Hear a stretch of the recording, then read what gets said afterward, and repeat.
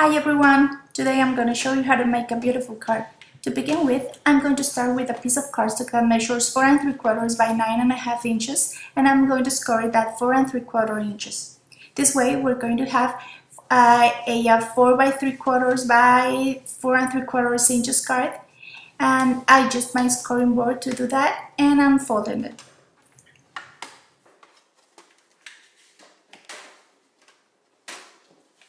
Also, you're going to need two pieces of cardstock, one red and one of the same color of your card base. They both measure 4 and 3 quarter inches wide by 4 inches tall. What I'm doing now is punching a circle out of the piece of cardstock just in the right top corner of the cardstock that I'm going to adhere at the very top of my card.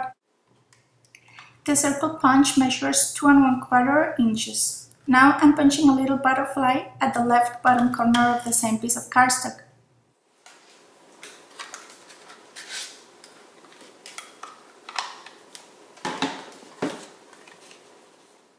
Now I'm using this template that has a paper piercing holes with a guideline that has the same shape of the butterfly I just punched out. All you need to do is line up the outline of the shape and then just start piecing just around the edge of the butterfly through those little holes. I'm using this paper piercing mat that it also can be used for stamping directly on it. This mat it's great because it's nice and large and you can pierce through without damaging the table. I really like this technique because it adds another border to your images uh, without having to add another extra layer. It also adds textures and dimensions to your project.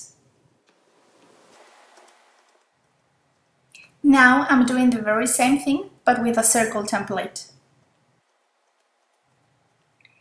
Now I'm going to start punching out circles of different sizes, starting with a half an inch circle punch.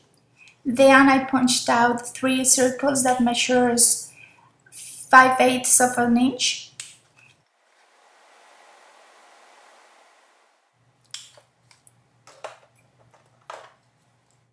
And finally I punched out a, a 3 quarter inch circle, which is the biggest one.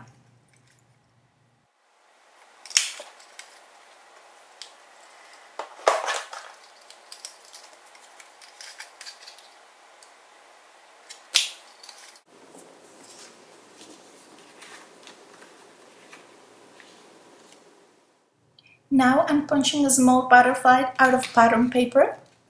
This one is a little bit smaller than the last one I previously punched out because I want to adhere it at the top of the other one to give it an extra volume or dimension. I want to add a little sentiment at the bottom of my card and I'm stamping it directly into some of the basil cardstock that was left over after cutting the card base. I am using painter's tape so the die doesn't move when I run it through my Big Shot. And also because it doesn't hurt the cardstock. It is very easy to take off, uh, but also if you want, you can use a piece of post-it.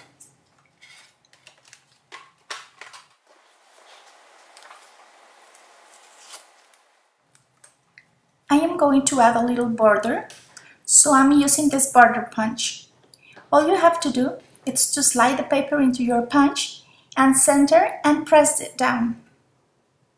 Then you want to slide the paper all along, but keeping one side flush with the bottom and the other side in line to the printed image where the pattern is.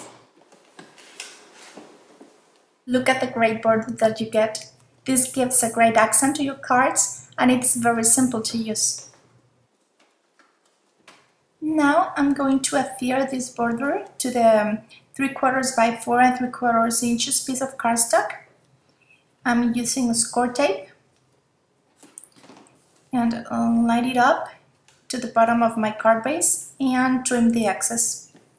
Now I glue the border that I just punched out. I am using a Tombow multi-glue. This is a very strong glue. It has really a tiny tip on one end which is great for strips and really small things, and also has a broad tip at the other end for a bigger surface. Once you adhere something, you have only like uh, 10 seconds to move the layers around the way you want them to be to get straight. And then you cannot move them anymore. It will be permanent. I just put a non-stick craft sheet under my work. It is great because it protects your surface.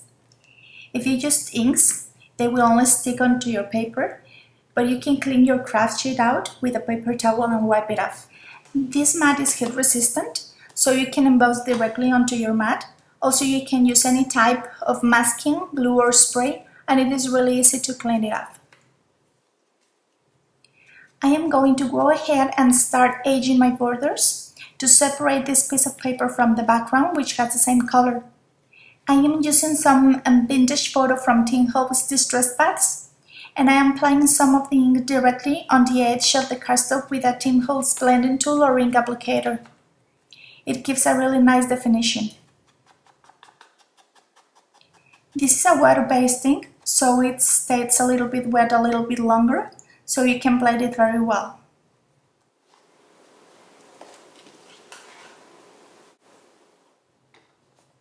Now I'm going to put it all together and adhere all the pieces.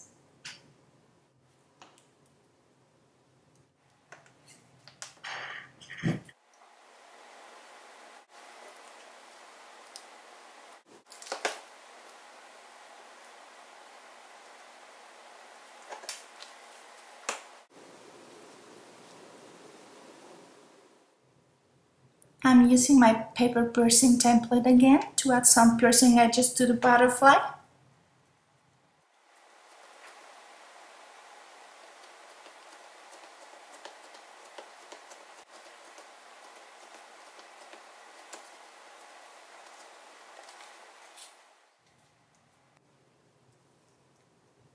I put some score tape, which is very strong and thin, and I like it very much because I can reach difficult corners when I use the 1 8 inch score tape. And I can use it for small projects too. It is double-sided adhesive, acid-free, heat-resistant and incredible sticky tape.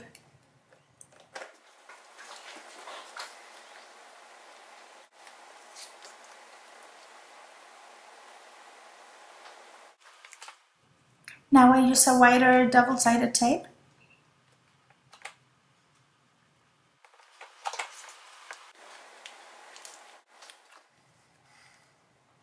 Now tap down, flip it over, and trim off all the excess.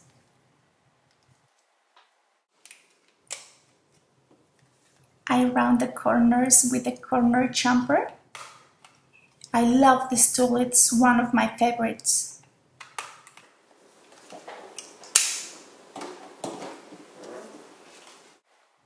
Now I tape the sentiment down with the score tape and we are almost finished.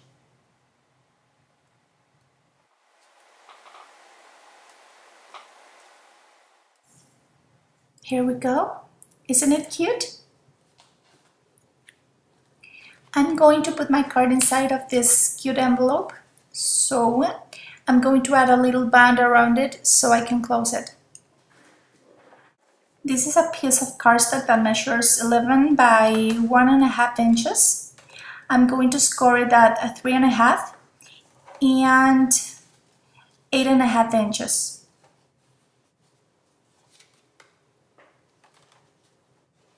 So this is the right size to grab my envelope so I can slide it up and down anytime I want.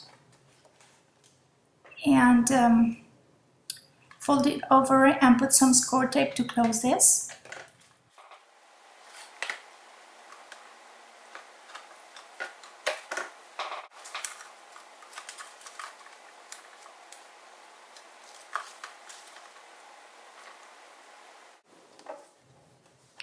We're almost finished. Now I'm going to draw some dash lines along this band with a brown Copic marker.